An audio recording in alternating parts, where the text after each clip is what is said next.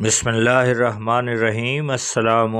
नाजरीन, आप देख रहे हैं कलीम कैसरानी नाजरीन, फ़तेह मक्का पर एक और शख्स, अब्दुल्ला बिन ख़तल था। हुजूर अकरम ने इसको भी कत्ल करने का हुक्म दिया था।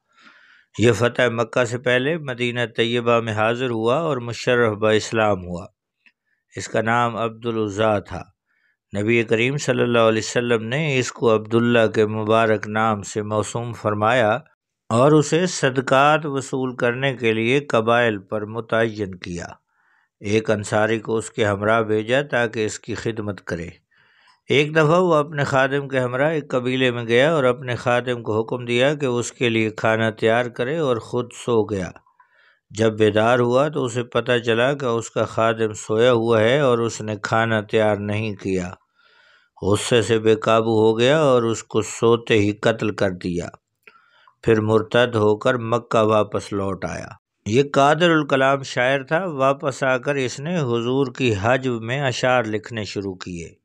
इसकी दो कनीज़ें थीं। इन्हें अपने हजविया यानी रसूलुल्लाह सल्लल्लाहु अलैहि वसल्लम के बारे में गुस्ताखाना अशार याद करा देता और उन्हें हुक्म देता कि वो ये अशार गाया करें।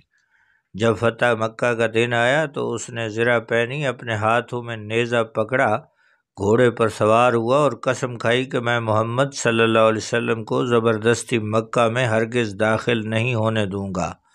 लेकिन जब इसने अल्लाह के शाह सवारों को देखा तो यूँ मरूब हुआ कि सीधा काबा की तरफ़ गया। घोड़े से उतरा, अपने हथियार फेंक दिए, काबा शरीफ के ख़िलाफ़ में जाकर छुप गया। एक आदमी ने उसके हथियार ले लिए और उसके घोड़े पर सवार होकर बारगाह रिसालत में हाजिर होकर उसके बारे में बताया। सरकार ने उसको हुक्म दिया कि वो उसे जहाँ पाए कत्ल कर दे। जब रहमत आलमीन सल्लल्लाहु अलैहि ने काबा शरीफ का तवाफ़ किया, अर्ज़ की गई, या रसूलल्लाह सल्लल्लाहु अलैहि वसल्लम ये है अब्दुल्ला बिन ख़तल जो काबा के ग़िलाफ़ में चमटा हुआ है। हुजूर सल्लल्लाहु अलैहि वसल्लम ने फरमाया, इसको कत्ल कर दो, काबा किसी मुजरम बदकार को पनाह नहीं देता। चुनाचे सईद बिन हरीस और अबू बरज़ा असलमी ने इसको मौत के घाट उतार दिया। उसकी दो कनीज़ें जो ये अशार गाया करती थीं, उनको कत्ल करने का भी हुक्म दिया।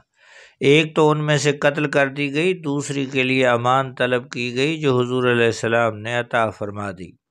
चुनाचे वो बच गई और उसके बाद उसने इस्लाम कबूल कर लिया। नादरीन ये थी आज की इस्लामी वीडियो। सीरत नबी सल्लल्लाहु अलैहि वसल्लम और इस्लामी मालूम के हवाले से मज़ीद वीडियोस देखने के लिए नए दोस्तों से गुजारिश है कि हमारे इस चैनल को सब्सक्राइब करें, बेल आइकॉन को प्रेस करें। बहुत शुक्रिया। अल्लाह हाफिज़।